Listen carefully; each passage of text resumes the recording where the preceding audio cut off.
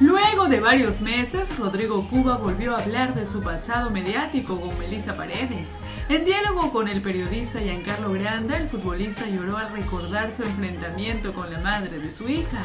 En el adelanto de la entrevista que se emitirá este lunes 7 por el canal de YouTube de Granda, se ve al popular gato Cuba referirse a los medios de espectáculos. El integrante del Sport Boys calificó de invasivos a los periodistas. Yo entiendo que es su trabajo, pero son bien invasivos. Uno no está acostumbrado a esa exposición. Te llegas a adaptar bien en el proceso porque hemos estado bastante tiempo juntos.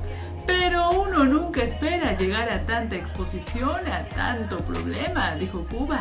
En otro momento Rodrigo se quiebra, pues no fue fácil afrontar todos esos líos mediáticos. ¿Cómo haces para jugar con tanto problema? expresó Cuba entre lágrimas. Tras tantos meses de polémica, Rodrigo y Melissa por fin llegaron a un acuerdo por el bienestar de su menor hija. El fin de semana pasado volvieron a juntarse para celebrar a lo grande el cumpleaños de la pequeña.